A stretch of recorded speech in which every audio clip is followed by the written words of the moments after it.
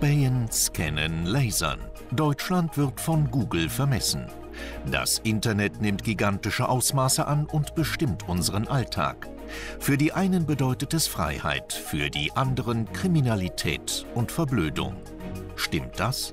Wie gefährlich ist das Internet?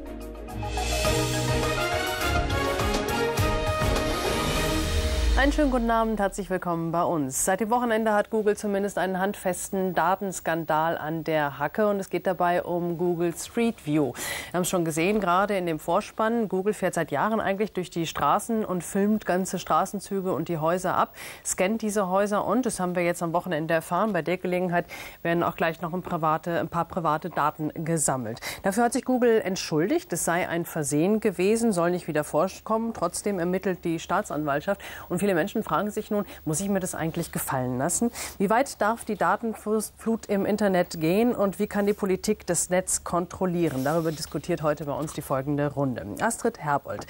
Die Internetkritikerin warnt, Google scannt keine Bücher ein und fotografiert keine Straßenzüge ab, weil es ein altruistisches Bildungsauftrag verfolgt, sondern weil es damit seine Monopolstellung als Weltlotse ausbauen will. Julia Klöckner, die parlamentarische Staatssekretärin im Verbraucherschutzministerium, fordert eine neue Kultur im Internet, eine Kultur des Respekts vor den persönlichen Daten der anderen.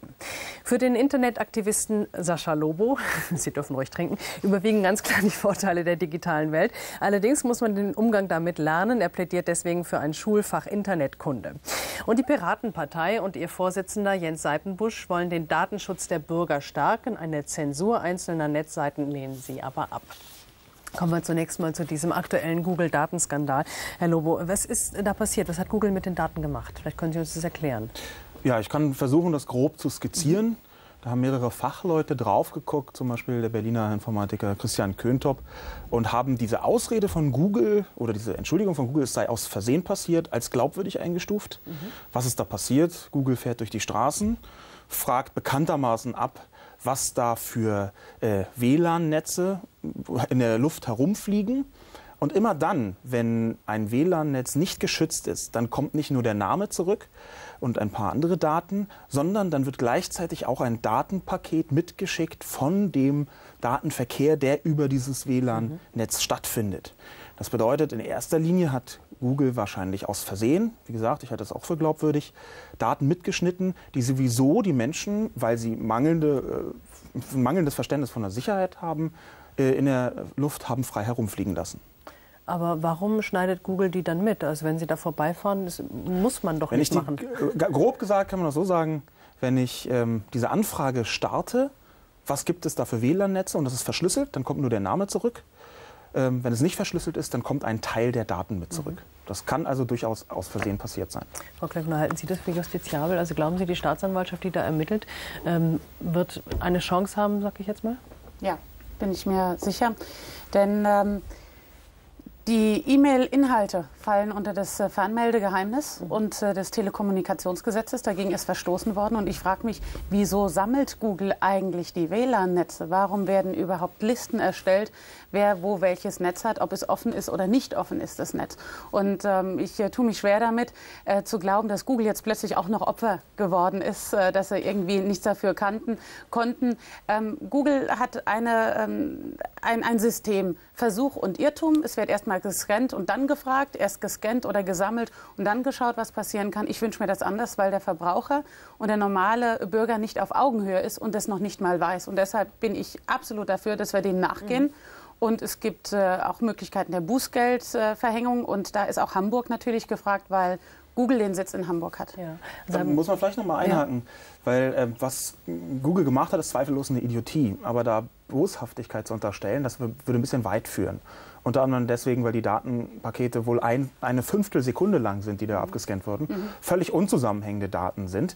Ähm, und auch Google ansonsten nicht zur Auswertung irgendwie hätten äh, behilflich sein können. Aber darum geht es mir überhaupt nicht, ob die äh, jetzt damit was anfangen können oder nicht anfangen können. Die Frage ist erstmal, wieso hat jemand Interesse, jemand, der eine Monopolstellung hat, Daten auch noch weiterzugeben, die übrigens dann auch noch in Hände Dritter kommen. Sagt Google ja auch. Nach sechs Monaten haben sie sie vielleicht nicht mehr, die Daten, aber geben sie weiter. Und erst das Verknüpfen von verschiedenen Daten, das heißt Google Street View, Google Earth, Google Bus oder dann noch das Google Handy, dann kommen wir noch zu WLAN-Netzen. All diese Dinge, die finde ich hinterfragenswert. Und das hinterfrage ich auch gerade als Verbraucherpolitikerin, ähm, mit welcher Selbstverständlichkeit und auch Juspé Google da vorgeht. Und dann muss ich sagen, wer so vorgeht und durch die Landschaft pflügt und selbst nicht möchte, dass das eigene Auto fotografiert wird, das Google Street View Auto, und auch untersagt, dass Google Gebäude ähm, auf dem Gelände nicht fotografiert und gefilmt wird, aber dann andere abfilmt, äh, der muss sich dann auch dem Gewitter und dem Wind stellen. Frau Herbold, was unterstellen Sie Google für Interessen? Sie sind ja auch skeptisch. Ja, ich bin auch sehr skeptisch. Ich bin auch sehr bei Frau Glöckner, muss ich sagen. Ähm, ich finde auch die Frage, warum äh, werden da WLAN-Netze, also das, warum das gemacht wird, ist ja klar, ist ja bekannt. Also die machen das, damit die Handyverortung noch genauer stattfinden kann, damit man nicht nur... Aber was bedeutet das? Also was, also das was kann hat der Logo sich jemand davon, wenn das eine kann der Logo bestimmt wieder besser erklären, was das technisch genau bedeutet. Aber ich glaube, es geht darum, dass die Verortung im, in der Stadt noch genauer stattfindet. Also dass das Handy noch genauer weiß, steht es vor äh, der Torstraße 190 oder 191. Warum ne, ist das für mein Handy das wird wichtig? Ja heute schon gemacht auch. Das ja. äh, machen die Handys ja jetzt schon anhand der Handynetze. Letztendlich nicht nur mit GPS, was ja bekannt ist in den Handys drin, aber die können auch über die Lokalisierung von den normalen Handymasten äh, Informationen liefern, die zur Positionierung, wenn ich jetzt äh, einfach ein Wegfindeprogramm habe auf meinem Handy, dann wird es schneller und besser positioniert und kann mir zum Beispiel einen Gut, aber das ist, wenn ich quasi so ein kleines Navigationssystem genau. im Handy habe, dann ja. ist es sinnvoll. Genau. Dafür ansonsten ist es nützlich nicht. zunächst mal. Oder ist es nur gut für die äh, für Wie die ansonsten nicht? Das ist ja ein, in meinen Augen zumindest legitimer Grund, der übrigens nicht nur von, von Google, sondern von, auch von ein paar anderen Firmen schon länger praktiziert wird und auch schon bekannt ist. Ähm, das war jetzt kein Geheimnis das bedeutet, die technische Möglichkeit, mich selbst zu orten, die vom Verbraucher ganz klar nachgefragt wird, die verbessert sich, wenn man weiß, wo welches WLAN-Netz ist. Und das kann man jetzt gut oder schlecht finden, aber es ist zumindest in der Form, wie es geschehen ist, nicht verboten. Aber mhm. die Frage ist natürlich, wie ist die Voreinstellung? Also sagen wir mal Betriebsanleitung, wenn ich es wie eine Waschmaschine, gibt es eine Grundbetriebseinstellung ähm, wie ist die äh, geschaltet. Und wenn ich, ähm, können wir ja auch zu den sozialen Netzwerken Facebook etc. kommen oder zu einem Google-Handy, wenn da grundsätzlich erstmal alle Fenster geöffnet sind, alle Türen geöffnet sind und ich mich erstmal darum kümmern muss, welche Fenster könnte denn dieses Haus haben, welche muss ich erstmal schließen, dann ist es problematisch. Und ich würde wetten, dass sehr, sehr viele äh, Nutzer von Handys gar nicht wissen, dass etwas aktiviert ist in ihrem Handy, mhm. was sie selbst nicht aktiviert haben. Wer das nutzen will, Gerne. Freies Land, kein Problem. Aber man geht von etwas aus, was so nicht gegeben ist. Und deshalb äh, finde ich es auch richtig, dass man zum Beispiel äh, die Schulung über Internetkompetenzen stärken muss, auch frühzeitig stärken muss. Aber das letzter Satz dazu, aber das Spannende wird doch dann werden, wenn ich verschiedene Informationen zusammenbinden kann zu einem Profil. Wann bleibt jemand wo stehen? Wo ist er gerade? Das mit dem Handy, mit einem Kaufverhalten, mit Kontaktverhalten, das zu verbinden, das macht mir Angst. Ich glaube, man also muss so ein bisschen den Datenschutz vielleicht äh, Aspekt von dieser äh, Monopoldiskussion trennen. Weil was Sie gesagt haben, ist richtig. Die, äh, Google hätte diesen Teil der Daten, der jetzt privat ist, auf jeden Fall nicht weitergeben dürfen. Das ist ein Verstoß so ist gegen das Datenschutzgesetz mhm. und auch gegen Telekommunikationsgesetz, höchstwahrscheinlich. Äh, ich bin ja da nicht äh, der Richter. Ähm, äh, und das muss natürlich auch bestraft werden. Das ist denen auch klar.